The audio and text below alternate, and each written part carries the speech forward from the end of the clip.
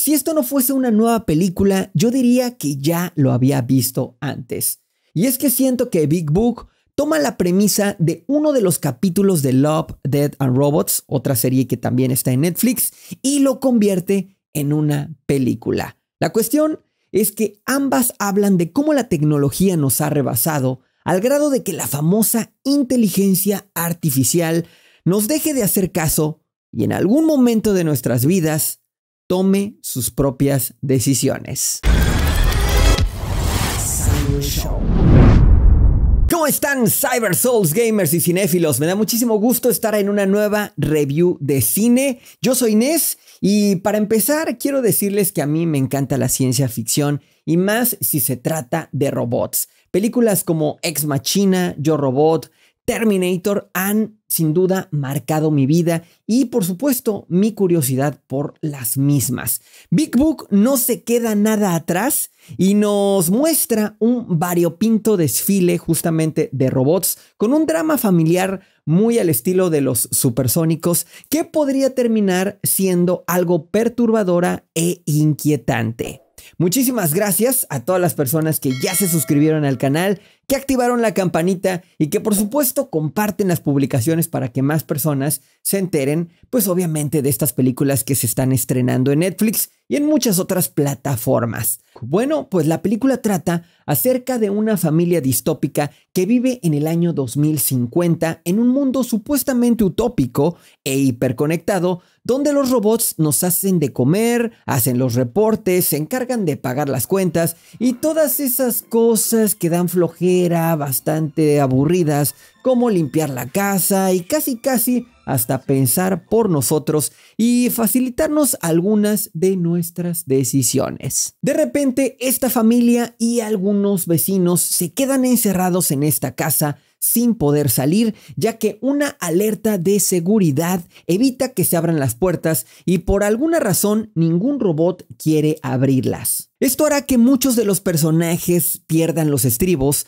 y revelará que más que humanos en situaciones complicadas, podemos llegar a comportarnos de maneras y formas bastante irracionales. Big Book es tan colorida como Amelie, ya que es dirigida por Jean-Pierre Jonet, mismo que también dirigió Delicatessen y La ciudad de los niños perdidos. Así que por fotografía y estética, la verdad es que esta película tiene un 10. Una de las cosas que más se aprecia en esta película es la creatividad para crear formas humanoides y robóticas en Big Book. Definitivamente cada una tiene su forma de ser y cada una también está tratando de ser más humana en cada minuto de la película. Sin embargo, a pesar de todos estos personajes tan variopintos, ya sea humanos o robots, la película se siente un poco enclaustrada en esta única locación que es la casa y creo yo que se alarga demasiado. Estamos hablando de dos horas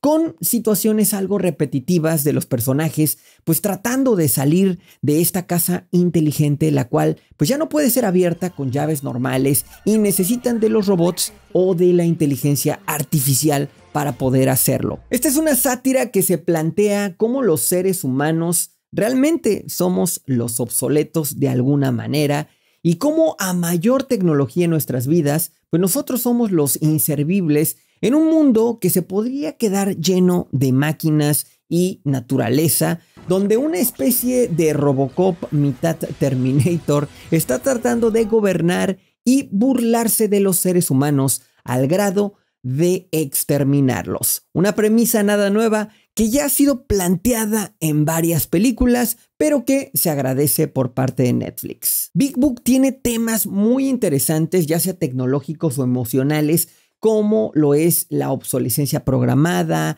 o cosas como el amor que el ser humano busca constantemente en otras personas, que muchas veces parece simplemente un trueque o un mercado de emociones que endulzan el oído para satisfacer los deseos de otra persona o alguno de nuestros sentidos, en vez de ser un interés genuino por la persona, de conocerla a fondo y aportar algo nuevo a la relación o resolver los problemas que se van dando día con día. Ya en la parte final la cosa se vuelve algo perturbadora e inquietante al ver cómo los robots pues solamente observan a estos seres humanos comportándose de manera bastante errática y poco racional ante el sentimiento de encarcelamiento hasta el punto de perder su dignidad por un poco de atención. Y hablando de atención, justamente hay una parte clara que nos muestra cómo los algoritmos o las notificaciones y todo este tipo de cosas han hecho que nuestra atención esté pues definitivamente por las nubes eh, con esta publicidad que ahora existe ultra personalizada que parece que el Internet ya nos conoce mucho más que nuestra propia madre y sabe lo que necesitamos y cuándo necesitamos de ciertas cosas o de ciertos placebos. Big Book simplemente se queda en ser buena, pero no termina de cuajar algunos temas interesantes que pudieron irse para algo más. Como les dije al principio, parece que realmente vi un capítulo larguísimo de Black Mirror o tres capítulos de Love, Dead and Robots, que por cierto son dos series que les recomiendo muchísimo en Netflix. Y a pesar de que tuvo la duración para profundizar más en cómo afectan todas estas tecnologías al ser humano y también cómo pudieran ser pues de ayuda para él, creo que se queda más en el drama familiar que otra cosa. No es una película para todos los públicos, primeramente por ser ciencia ficción, otra por ser sátira, y por esa razón yo le voy a poner un 6.5. 6.5 para Big Book, una película que ya está disponible en Netflix y que sigue arriesgando con grandes eh, directores, grandes presupuestos y por supuesto propuestas frescas para el espectador. Bueno, pues díganme ustedes qué les pareció esta película, si están de acuerdo conmigo. Y por supuesto también ahí en los comentarios díganme si ustedes conocen alguna otra película interesante que así tenga que ver con robots que quieren apoderarse de la Tierra o simplemente que el tema principal sean los robots. En fin, yo les recomiendo Ex Machina muy buena película, muy interesante y la verdad muy, muy profunda. Es así, de verdad te deja pensando en qué va a pasar cuando los robots utilicen su inteligencia artificial para su propio beneficio. Muchísimas gracias por suscribirse, activar la campanita, escuchar este review, compartirlo en sus redes sociales para que más personas se enteren, pues obviamente de que eh, les parece esta película o si la quieren ver o no. Y bueno, pues los invito también a mis redes sociales. Tengo Facebook, Twitter, Instagram. En cada una publico cosas completamente diferentes. Estamos jugando en este momento Uncharted en Facebook Gaming. Así es que acompáñenme por favor ahí en las mañanas porque ya viene la película y vamos a reseñarla.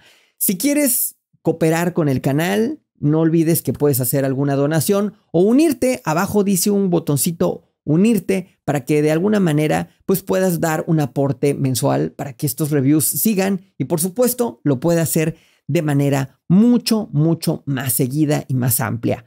Muchísimas gracias por ver este review hasta el final. Yo soy Inés, que la omnipresencia esté con ustedes y nos vemos en el próximo review.